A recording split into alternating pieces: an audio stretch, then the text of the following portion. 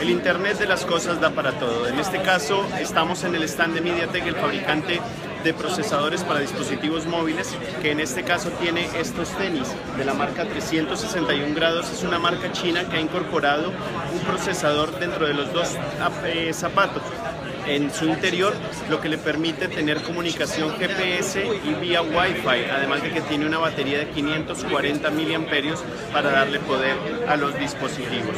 También tiene 4 megabytes de RAM y 16 megabytes de memoria flash para almacenar algún tipo de información.